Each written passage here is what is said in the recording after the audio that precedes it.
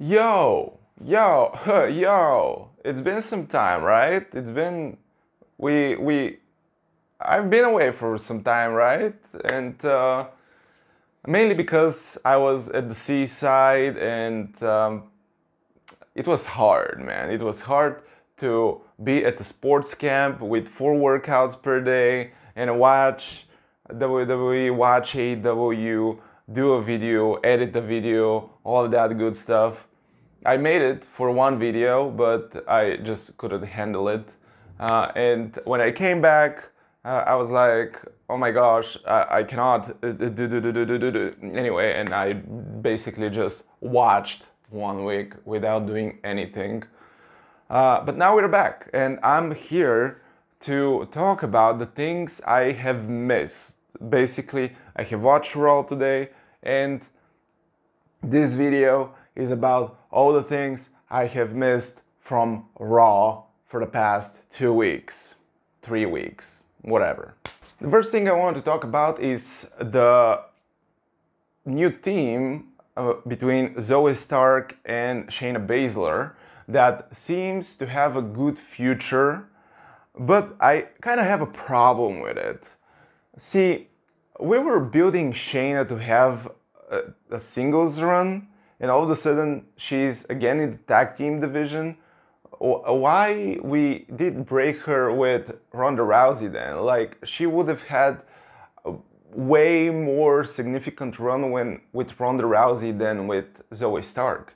And on top of that, why did we have that whole feud? What like Shayna was complaining that she's in the shadow of Ronda Rousey and all of that stuff, and now she's going back into the tag team division, like being with a partner and all of that stuff. Um, but even though this is happening, I'm really excited because I have a lot of faith in Zoey Stark, and I feel like Zoey Stark plus Shayna Baszler is gonna work tremendously. Unfortunately, Nia Jax came back and this is interfering a little bit with Rhea Ripley and her championship. Uh, but yeah, Nia Jax is back and the whole locker room is on notice. Uh, last week she attacked Rhea Ripley after her match with Raquel Rodriguez. Actually, she interfered the match and basically she cost Raquel her uh, the title. Uh, this week uh, she cost Shayna and Zoey Stark the titles.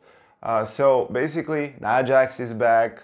We have a new team between Shayna and Zoey Stark and Rhea Ripley is injured and I'm really excited to see what is gonna happen when she's gonna come back. Either is she gonna go after Nia Jax or she's gonna choose another opponent. I'm not entirely sure, but exciting times are ahead of us in the women's Raw locker room. Next up, the whole Chad versus Gunther versus Tommaso versus Big Bronson Reed Let's say I haven't covered the last part of the Gunther versus Chad Gable. All I want to say is that it was awesome. I think everyone saw that it was awesome. It was like six star match, eight stars, 10 stars match. I don't even know what kind of match. It was really awesome. And we really saw that Chad is gonna be the one that is gonna dethrone, dethrone Gunther. But unfortunately, uh, Chad cannot have another match right off the bat, and I feel like they're gonna build up a little bit of uh, now, Chad, you cannot have a match, but Tommaso is gonna have a match, and after that, Tommaso will fail, and Bronson will have a match or whatever, and eventually Chad is gonna get back to Gunther, and he's gonna dethrone him, and it's gonna be really feel good moment. Um, but I feel like this is gonna be the right move because Chad really deserves the title and it's gonna be amazing. Uh, as we saw, he can really deliver a good match, he can deliver a good story. Uh, even yesterday, he was having a match with Big Bronson Reed and it was just perfect. Uh, the only thing that I missed this match was Big Bang Catastrophe, I think it was his move. I really enjoyed it. I really enjoy him doing it on a big guys. It's really satisfying, but he didn't do it. He even lost. So, yeah, excited to see Chad being a champion in the future. I'm really excited to see how Chad is gonna go all the way back to the Intercontinental Championship picture.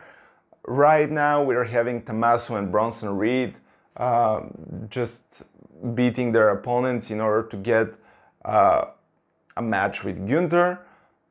And yeah, uh, I really want next week to come because Tommaso Ciampa is gonna have a match with Ludwig Kaiser, and basically, if he wins that match, he's gonna have a match with Gunther probably. But um, yeah, I'm gonna wait for next week to see what's gonna happen.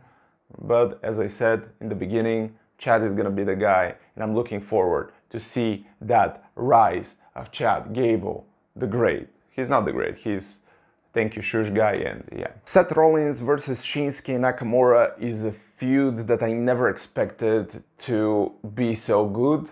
Like their their fight at Backlash was super satisfying. Like I'm not talking about the fight itself, it was just the story of the injury of Seth and all of the anime stuff that Shinsuke come up with and the whole thing. And after Backlash, it continues and it evolves and it uh, becomes even better because Shinsuke is now playing in his territory. Like uh, he's in the head of Seth and Seth is so angry and he's trying to deal with Shinsuke, but Shinsuke is just running away and he's just playing with him and it was so good. I, I really enjoy the story. I really enjoy also that they put Ricochet in the picture as well. I hope that this will help him in the future to be more credible for the title opportunity. Anyway, I'm really excited because of course that whole thing will lead to Seth versus Shinsuke at the next pay-per-view. I'm not sure if Shinsuke is ready for the title yet, but at some point Shinsuke gotta win the title, I feel like. And if they do three matches, maybe on the third match Shinsuke is gonna win, I think I have said it in the past that they should make a trilogy and maybe Shinsuke should win the third match. But for now, the story is satisfying, the feud is satisfying, the matches are satisfying. It doesn't matter if it's Seth versus Shinsuke, Shinsuke versus Ricochet, they're all good. And uh, I'm really excited how everything will build up towards the pay per view. Last but not least, Jey Uso is back. Jey Uso is back on Raw. And uh, I was a little bit upset when he came back at Backlash and Cody was like, I put all my chips down and I returned Jey Uso to Raw. And I was like, he quit WWE. And two weeks later, you're saying that you magically made him appear back on Raw. Like, do you, do you know what quit means? Like, everyone knew that it is a kayfabe quit, of course, but just play along with it a little bit more, like make it more believable. But anyway, uh, Jey Uso is back on Raw, and uh, by the looks of it, no one likes him except Sami Zayn and uh, Cody Rhodes. Um, only these two gentlemen have his back. Kevin Owens doesn't like him. Drew McIntyre just had a match with him, and I feel like he's liking him now. And he's kind of okay with him, but he cannot forget what happened at Clash at the Castle, at Survivor Series a few years back, and I think he's gonna get there. And also, man, what is happening with the Judgment Day? Why they all of a sudden decide to recruit Jey Uso? Don't they realize that if Jey joins the Judgment Day, he's gonna look like an emo. This is not a good marketing, Judgment Day, just get over it. But anyway, Jey Uso declined the offer, he super kicked all of them, and uh, at the end of the show, Judgment Day attacked Jey Uso, and Cody Rhodes help him. Uh, to be fair with you, I don't know what is in front of Jey Uso. Um, I really want to see him be a credible solo competitor like main event Jey Uso. um, but I don't know what is in front of him. Uh, probably something alongside with Cody or alongside with Kevin and Sami, but at the same time, I feel like Cody is going into a feud with Dominic, but I thought that we're not doing a feud with Dominic anymore. Uh, like we have played over it, and I kind of don't understand what exactly is going on, like for Jey. Uh, I really hope they don't do something like uh, for example, Jimmy coming to Raw or someone going to SmackDown and uh, just go back to the bloodline shtick.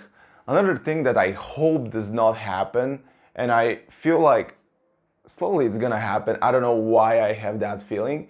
That whole thing is a play for the bloodline. Like, truly, Jey is not out of the bloodline, but he played it along so that everyone can believe that he's out of the bloodline. And when no one expects Roman is gonna have that huge match and Jey is gonna appear and he's gonna save the day for Roman. Um, I really hope that does not happen, but um, we'll see. So, uh, I don't know what is happening with JD McDonagh. Like, few weeks back, I thought that he's almost in the Judgment Day, but now he is not appearing on TV for two weeks. So I don't know what is happening right now. Uh, I just wanted to mention him because he was part of the story. He, he gave Damian Priest his cool briefcase. Um, and I feel like he deserves to be in the Judgment Day. Uh, and that will help his character a lot as well. Like music is, his music is kind of familiar with the Judgment Day style, and um, his style is familiar with the Judgment Day style. I want to see this happening. I want to give JD a proper chance. I want people to give JD proper chance, and Judgment Day will give him that um, opportunity to shine, in my opinion. So basically, that's everything that I have missed or you have missed if you're only watching my channel and not Raw and SmackDown uh, about Raw. Um, I'm gonna do long type of videos like this for SmackDown, for NXT, for AW, and I'm gonna see you in the next one. Peace.